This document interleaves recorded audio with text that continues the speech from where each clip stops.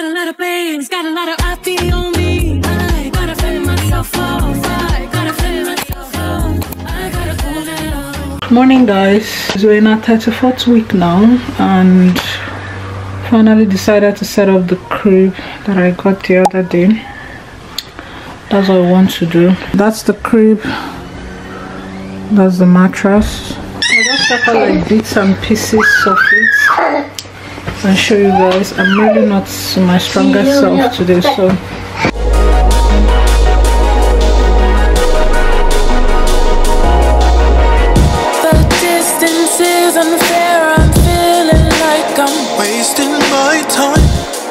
actions already. To me, it seems you're doing just fine. Assumptions can't be raised. So we're all done. This is the crib. I just threw the mattress inside. I've not even taken out the nylon. When I'm ready to make the bed, I'll just take it out. But yeah. So today on my to-do list is to do baby's laundry.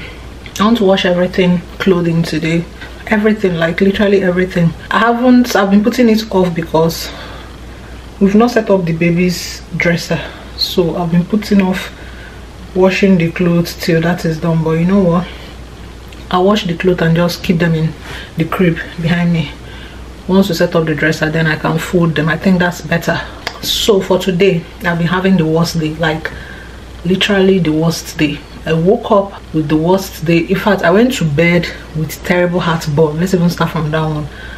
And that heartburn kept me up all night.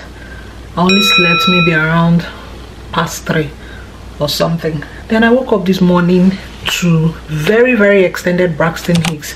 I don't even know why it's happening, but I think I can imply that I may have even triggered it myself. So here's what I did, which I'm thinking may have caused it. I don't know if that's what's causing it, but you know, I talked with my midwife on things I can take, like non-pharmaceutical situations that can help make sure that once this baby is full term, things can get going because ain't nobody got time for extra days like so we talked about dates me eating dates which i already do. I eat about two dates every day.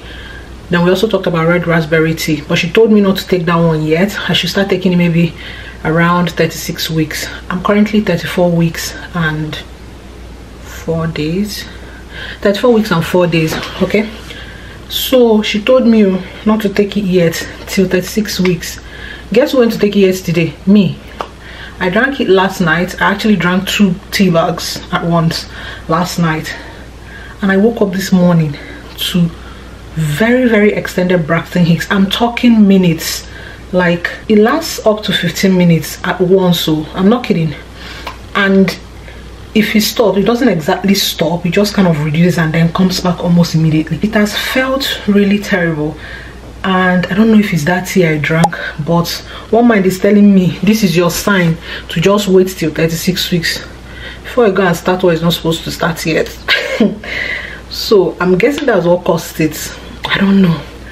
But i feel a little better now. So let me do my baby's laundry.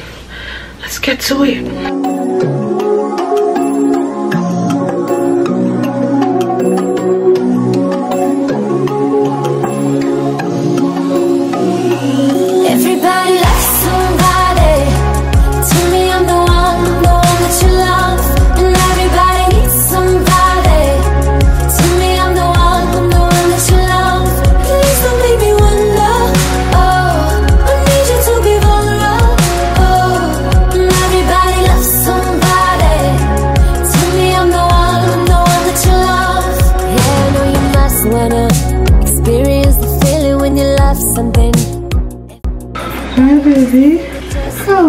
Ouch, I was. I'm gasping for air. I cannot breathe. So I have two more loads to wash. I'm already washing the first one. This and this. And then this bag filled with baby shoes.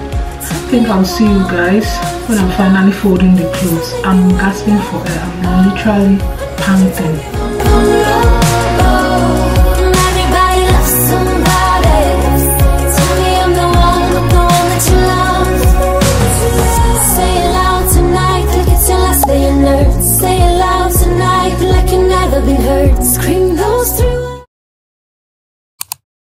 What's up guys? Voiceover nenye here. So the next day we set up the baby dresser and i was just not in the mood to show my face or talk on camera that day. So please take this as me letting you know what's going on on screen.